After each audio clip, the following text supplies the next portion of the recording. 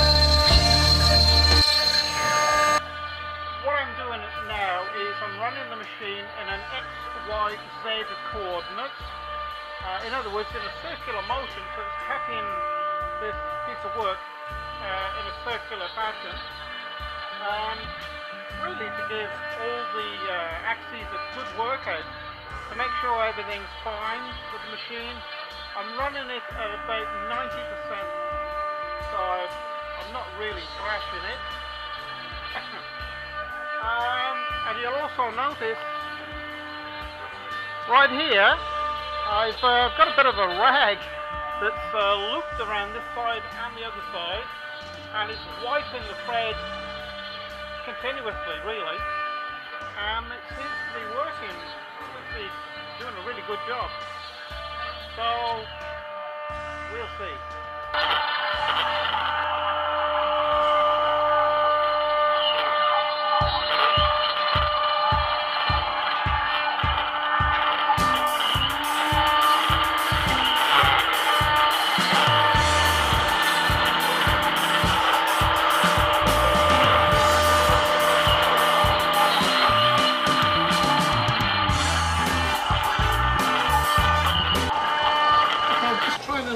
Experiment now. I've gone so far uh, in an X, Y, uh, Z uh, motion, in other words, circular, and um, everything's fine there. So I've stopped the program and I've uploaded a second program uh, which um, cuts this particular job in uh, the x-axis.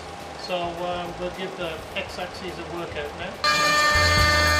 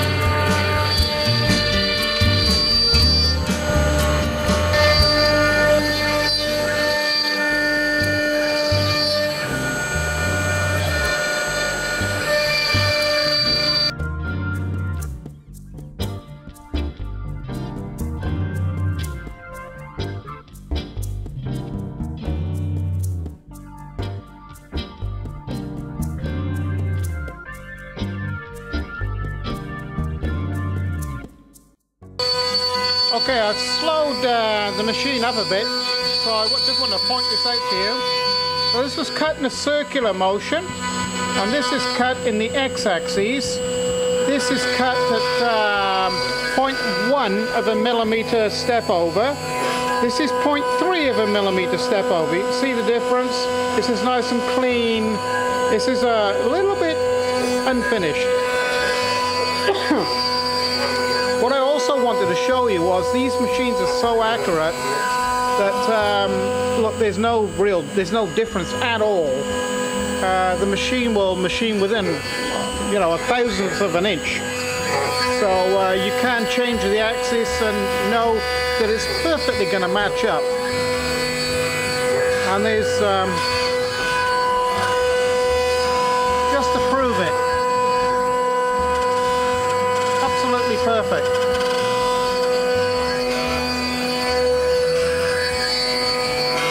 This is actually a plaque uh, that I'm making. It's, uh, well, I suppose uh, a rough love plaque. It symbolizes the relationship between me and CNC machines.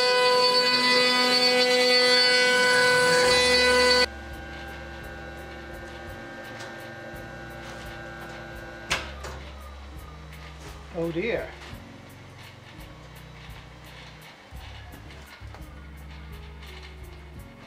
Um, well, something seems to have happened. Um, well, a few seconds ago, I just um, vacuumed all this off with the machine running, and um, unfortunately, the uh, something's happened. Now, exactly the same thing happened this time as happened last time. Um, and thinking about it now, the only thing I can put it down to is um, either the breakout board has sent, um, I don't know, a power surge or something back through to the computer, um, or there's something wrong with the NC Studio kit. I, I just don't know. I'm going to have to uh, take the computer apart and test it and um, do some tests on the machine. But I think for this project, um, it's pretty well over for today. So, um, oh well, I'll, I'll see what happens. I'll get back to you on this. Yes, I'm really not sure um, what happened there. Um, the only thing I can think of, and the, the few tests that I've done so far, is that either the breakout board in the machine itself has malfunctioned and sent some sort of spike back through to the computer and um, the computer has uh, not accepted it really well. Um, or there's something with the um, the NC Studio board inside the computer. I'm not really sure yet. Um, but uh, I now have an identical problem to what I had with the computer before I rebuilt it. Um, and you can't say that uh, really um, an identical problem isn't going to occur with a computer each time, you know. Uh, I know what I'm trying to say. um, so, well, it's going to take some more investigation from me, and uh, I think uh, for this project, well, I think it's over for today. So, um, I will get back to you uh, with a bit of report of exactly what's going on. Um, anyway, I hope you've uh, enjoyed this video, such as it is. And, um, well, if you have, please subscribe to my channel or press like. And if you go up into that top corner up there, uh, you'll see a little red box, press on that and it'll take you to my YouTube channel where there's quite a selection now and hopefully there's something there that will uh, interest you and please you. So um, from me now, it's bye for now.